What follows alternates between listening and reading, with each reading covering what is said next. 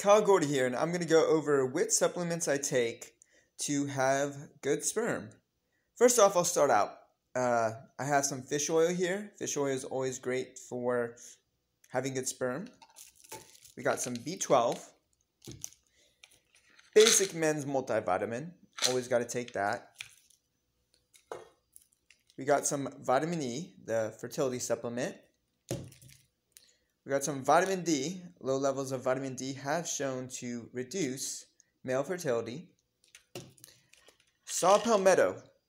It's great for the male prostate, so definitely should probably keep that on hand. Some vitamin C, lots of great antioxidants there.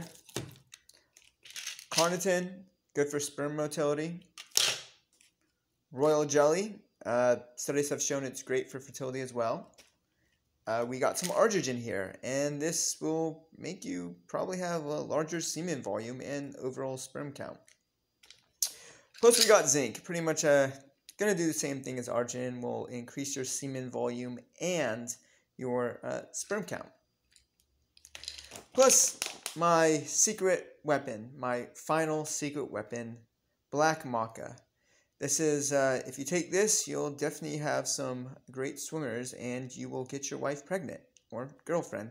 So, uh, thank you for joining me here today. Uh, it was a pleasure. If anyone has any more ideas for future videos, feel free to comment in the comments below. And you can also check out my site, bepregnantnow.com, for more information on any of these supplements or uh, herbs. Uh, thank you for joining me, and I will see you soon.